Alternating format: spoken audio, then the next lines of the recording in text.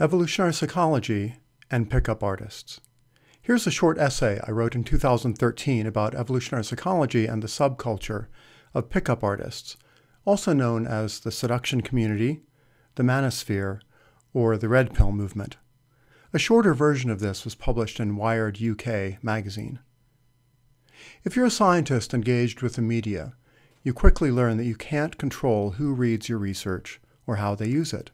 A few years ago, I was astonished to find that many members of the seduction community had read my book, The Mating Mind, about how sexual choices shaped our evolution. In their acronym heavy quest for sexual self transformation from average frustrated chumps, AFCs, to pickup artists, PUAs, these men had become avid consumers of my field, evolutionary psychology, EP, or EvPsych for short.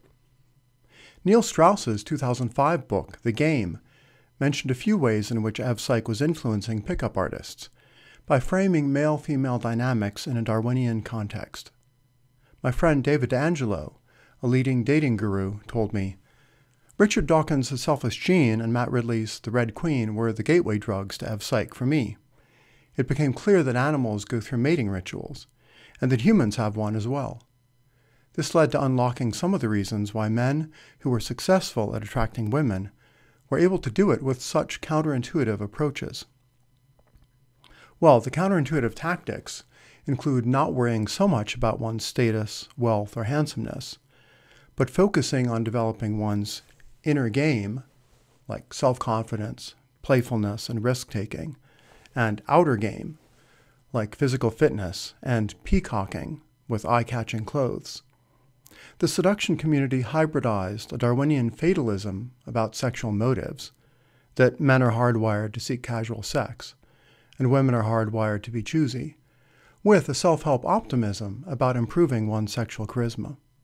Baba Brinkman, a Darwinian rapper and pop science performance artist, explained Pickup artists are only interested if they begin as conspicuously low mate value and turn their status around using the tactics. The subtext seems to be about the value of Machiavellian intelligence as a tool for subverting the usual mating market pecking order. Now, since The Game and The Pickup Artist, a U.S. reality TV series, the seduction community has become a vanguard of applied Darwinism. Pickup artists refine new seduction tactics, modeled on the latest EvPsych principles and findings, and trade field reports on which tactics succeed or fail through online seduction lairs. The enthusiasm has spread beyond pickup artists into mainstream male culture. Tucker Max, author of four best selling books about his sexual adventures, told me EvPsych greatly influenced me. I encountered it in college after reading Sperm Wars by Robin Baker.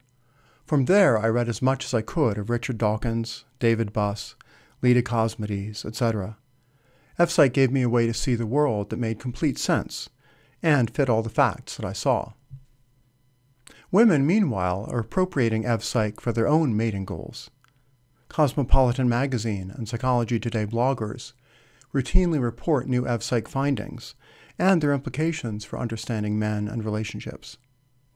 Women are also growing savvier about pickup artist tactics and more skeptical about their scientific basis. Amanda Denes, communication researcher at the University of Connecticut, explained Pickup artists seem to draw on an evolutionary framework as a way of validating their problematic approaches to seducing women. They tend to depict all women as being essentially the same, and women's sexuality as a passive response to men's actions. Some EvPsych confirms sexual stereotypes and goes viral among pickup artists. But other EvPsych overturns stereotypes and is championed by Darwinian feminists. The results are morally tricky. Today's dating scene has become a global, uncontrolled experiment in competing mating strategies. Science minded singles have new levels of self consciousness, not just as people, but as fitness displayers, mate choosers, gene replicators, and social primates. So men and women are locked in a runaway arms race of male sexual escalation tactics versus female commitment escalation tactics. Neither sex can afford for their game, their evpsych based seduction insights and skills, to stagnate. As David DeAngelo told me, pickup artists run the very real risk of becoming overly dependent on the techniques and shortcuts that, on average, tend to increase dating success. Many of them are like a person who wants to learn how to speak a new language, so they learn a hundred words in the language, then stop learning and use only those hundred words forever. To master this language of love, both men and women are supercharging their unconscious sexual instincts with the conscious lessons of Ev Psych. With such high stakes, we evolutionary psychologists had better get the science right.